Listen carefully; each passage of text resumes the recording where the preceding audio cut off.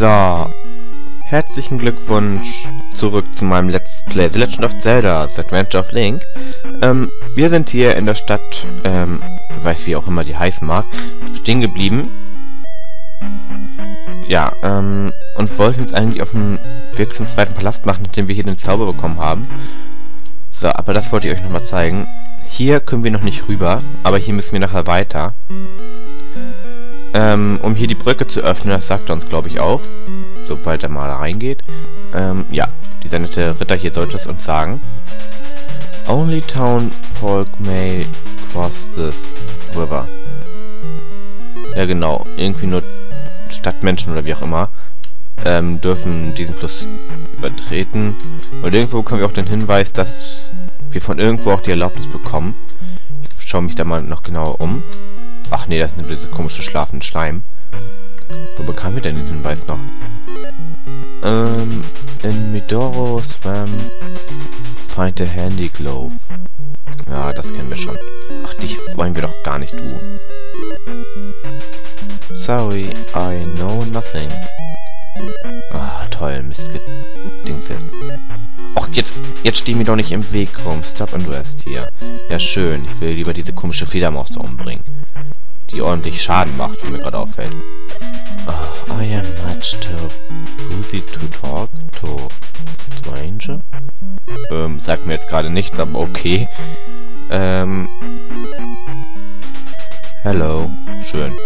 Das sagt uns noch viel mehr. Zum Glück haben wir hier diese nette, gute Dame, die uns die Energie immer auffüllt. Also ich war mir sicher, hier irgendwo stand das auch, oder besser gesagt, sagt uns das jemand auch. Da war nur der Spiegel drin, den wir übrigens auch noch abgeben werden. Dann erhalten wir endlich unseren Heilzauber.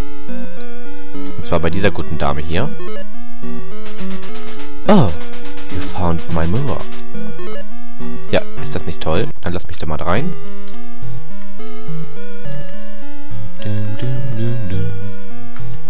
Komisches Reingang, aber hier irgendwo rumstehen tut sie nicht. Naja, egal. Und hier ist dann auch der alte Mensch der Stadt, Use this magic to restore your life. Schön. Wie stehen wir denn da? Ähm, gut, dann haben wir auch den live -Zau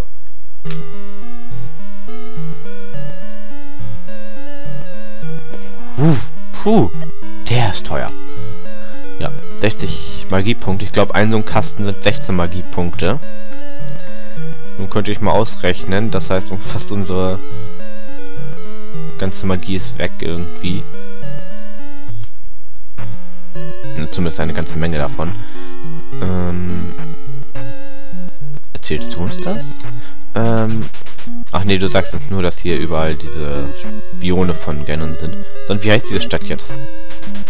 Water Town of Saria. Okay, Saria, das war diese nette Stadt. Saria, Salia, hört sich alles gleich an. Also ich war mir sicher, dass wir irgendwo noch den Hinweis bekamen, dass irgendwo in den Wäldern da oben der komische Typi da wohnt. Ach, nun lassen wir doch alle in Ruhe. Ähm, aber ist jetzt auch nicht so wichtig. Wir begeben uns lieber in den Sumpfpalast. Wenn wir da, da nochmal in diesem Leben ankommen.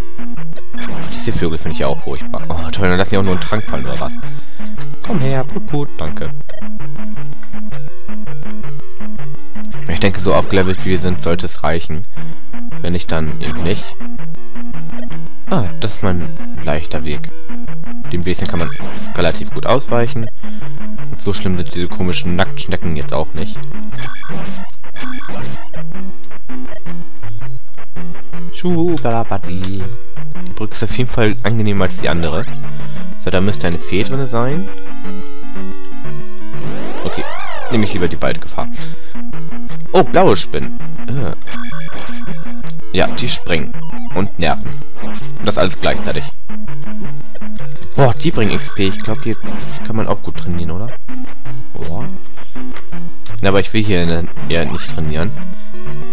Mich zieht es ganz eher irgendwie mal in Richtung Sumpfpalast, damit wir hier mal ein bisschen weiterkommen. Und ich glaube, hier irgendwo in dem Sumpf war auch Leben versteckt. Die Fee, die Fee, die Fee, die Fee. Gib mir die Fee, gib mir die Fee. Oh. Ja, mit der Zeit verschwinden die auch mal. Ich könnte jetzt echt noch Ewigkeiten rumsitzen und nach einer Fee suchen, weil ich glaube, wir kommen ja relativ häufig in dieser Gegend. Aber schauen wir erstmal, was es hier gibt. Nein. Haben wir die Fee? Jawohl, wir haben die Fee. Okay. Dann mache ich mir hier schnell einen Safe State hin. Und dann schauen wir mal, was hier drin ist. Hühner. Springende Hühner. Und irgendwo auch ein Bumerangwerfer, wenn ich das richtig mitbekommen habe. Oh Gott. Genauso was wie euch brauche ich jetzt. Die trifft man auch irgendwie nicht. Cool. Dann wo ist dieser komische Bumerang-Typi? Ich wusste, es gibt hier einen. Ich glaube, der wirft nur mit einem zur Zeit. Das macht es leicht, ihm auszuweichen. Ah, na toll. Ich spring trotzdem noch genau rein. Dann komm du auch mal her. Ha! Getötet. Hm? Was ist denn hier hinten drin? Also da habe ich jetzt irgendwie gar keine Erinnerung mehr, was hier hinten sein... XP. 500? Ne, nur 200. Na, was heißt nur? Es bedeutet, dass wir fast wieder ein Level-Up haben. Zumindest haben wir schon mal die Hälfte voll. Wum, wum, wum. Gut. Dann sind wir auch gar nicht mal mehr so fern vom Sumpfpalast und ich glaube, da können wir jetzt auch nochmal auffüllen. Ja, irgendwie... Folgt mit den Palästen irgendwie Schlag auf Schlag. So viel dazwischen passiert eigentlich nicht. Greif doch an. Ach so, falsche Taste. Kommst du uns dagegen? Nö. Die bringen auch ganze 10. Ja, ich glaube, hier könnte man etwas trainieren, wenn man noch Trainingsbedarf hat. Zumindest besser als irgendwie da hinten mit den zwei Fledermäusen, wo ich trainiert habe. Ja, und bei diesen Vögeln müsst ihr aufpassen, die klauen euch ganze 10 XP. Was natürlich nicht so schlimm ist, wenn dafür ein XP-Beutel da bleibt. Och, willst du mich verarschen? Den da sollst du angreifen. Geht doch. Und ich glaube hier... Oder doch in dem leeren Feld dort. Ich weiß auf jeden Fall, dass irgendwo ein Leben war hier. Irgendwo in einem Sumpf da drinne. Aber okay, dann eben nicht. So, nun kann ich euch gleich mal den Lebenszauber zeigen. Nachdem ich was ausprobiert habe. Weil diese netten Statuen haben ein kleines Geheimnis. Nämlich dieses da, was ihr da gerade gesehen habt. So, fast unsere ganze Magieleiste. Und das ist jedes Mal da drin, wenn ihr da noch reinkommt. Aber manchmal sind doch Ritter drin, da sollte man dann aufpassen. So, der zweite Palast ist schon etwas sehr viel härter als der davor. Hm, hier kann man auch gut trainieren, wenn man Langeweile hat. Aber ich bin ja nicht zum Trainieren hier, ich bin eher dafür hier, diesen Dungeon mal durchzubekommen. Ich weiß ja noch immer nicht, was es ist, was sie darunter spucken. Blut, Lava? Auf jeden Fall tut's weh. Aber kommst du da auch mal raus, oder? Geht doch. Man muss sie nur überzeugen können. Oh, ein blauer Stahlfoss. Ich glaube, mit denen war irgendwas. Ich weiß nur gerade nicht was. Nee, nee, nee, nee. Das war's. Genau. Die haben einen ganz miesen Angriff drauf, den sie auch nicht zu knapp einsetzen. Ja, diesen Sprungstoß nach unten werden wir zwar auch noch lernen, aber das hat jetzt wehgetan. Da war ich gar nicht so drauf vorbereitet.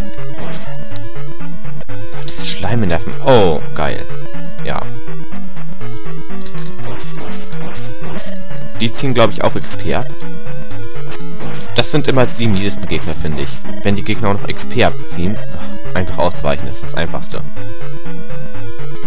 Oh, verdammt, da brauchen wir hier noch einen Schlüssel für. Okay, ich glaube, ich mache es anders. Nachdem wir schon so am Anfang so hervorragend am Versagen sind, aber... Und die uns hier XP und XP und noch mehr XP klauen, ähm, werde ich jetzt ganz einfach bei den Dungeon verlassen mich nochmal voll heilen und dann diesen Dungeon nochmal betreten. Ja, das ist das Blöde, man bekommt hier in den Dungeons keine Karten oder so, mit denen man sich zurechtfinden könnte. Dann probiert man aus und probiert man aus und dann landet man ständig irgendwo, wo man gar nicht landen will. So, können wir schon? So, nun seht euch mal, so viel ist es gar nicht, was es heilt und es wird auch nicht mehr, soweit ich weiß.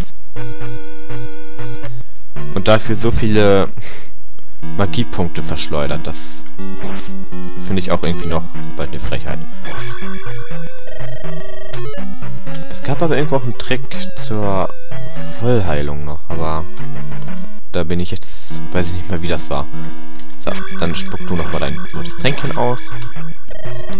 Dann machen wir jetzt uns an den nächsten Versuch, mal diesen Dungeon hier zu beenden. Oder besser gesagt, mal voranzukommen. Was haben wir bisher gemerkt? Eine Schlüsseltür haben wir gefunden. Toll.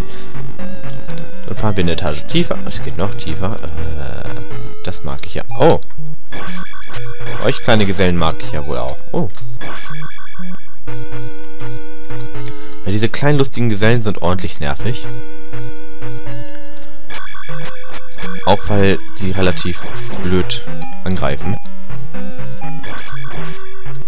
Äh, noch ein Treffer? Okay. Sollt ihr kriegen. Was geht eigentlich als nächstes hoch? Ich glaube, da haben wir keine Übersicht. Nee, du klaust uns nur Magie, das will ich nicht.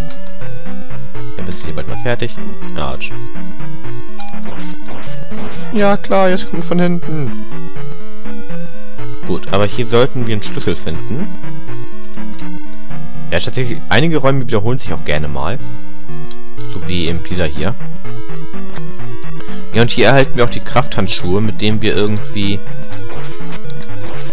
Irgendwie gar nicht erst die Chance lassen zu springen. Ähm, mit denen wir dann diese Blöcke da auch zerschlagen können. Und hier kannst du eh nichts machen, wenn wir die da reinkriegen.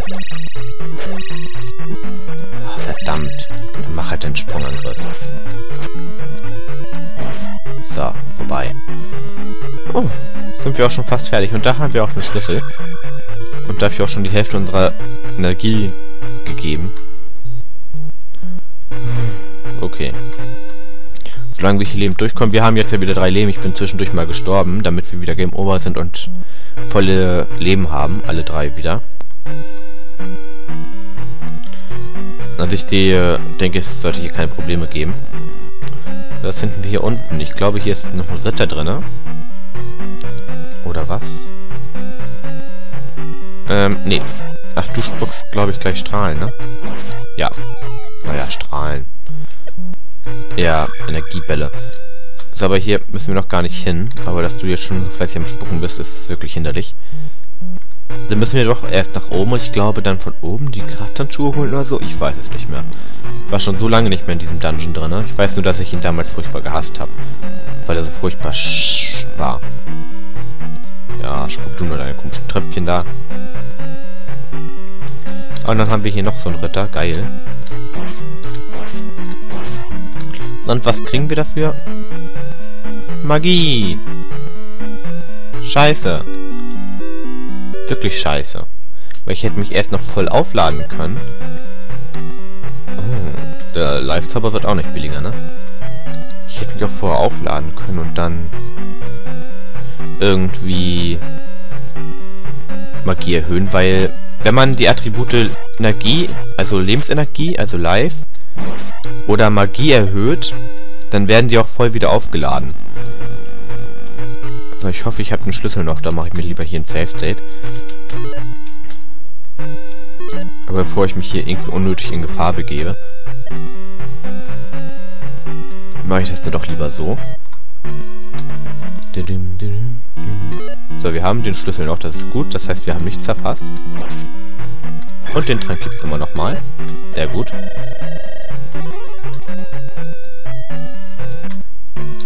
Ja, das mag jetzt etwas komisch aussehen, wie ich es mache, aber so ist es zumindest hundertprozentig sicher, dass es auch klappt.